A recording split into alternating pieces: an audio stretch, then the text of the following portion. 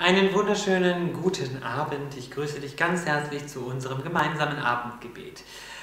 Ich freue mich, dass ich das jeden Abend mit euch tue und wir gemeinsam immer wieder in die Wiederholung gehen, denn das stärkt unsere Verbindung zu Gott und das macht unsere Welt zu einem schöneren Ort. Spürst du das? Ich spüre das jeden Abend ganz deutlich.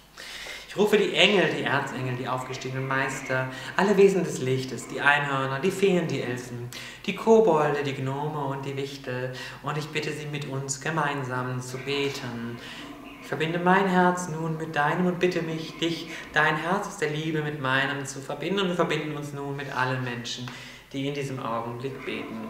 Allmächtiger himmlischer Vater, großer Gott, bitte nimm die Verzögerung aus der Veränderung, die du uns angekündigt hast im heutigen Tagesorakel raus. Bitte löse sie auf und lass dein Licht hell erstrahlen und hell leuchten, sodass wir die Veränderungen, die uns Klarheit bringen, ganz schnell erleben. Bringe Klarheit in, die, in den Geist der Menschen, bringe Liebe in die Herzen der Menschen und schärfe den Blick für das Spirituelle im Leben der Menschen. Lass uns ein Leuchtfeuer für deine Liebe sein.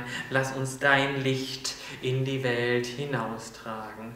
Ich, ich, ich bejubel dich, allmächtiger Gott, und sage Halleluja, denn deine Liebe ist Sieger und ich danke dir dafür. Amen.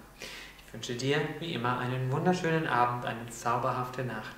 Gott schütze dich und segne dich und er lasse seine Engel deinen Schlaf bewahren und führe dich zur Erleuchtung.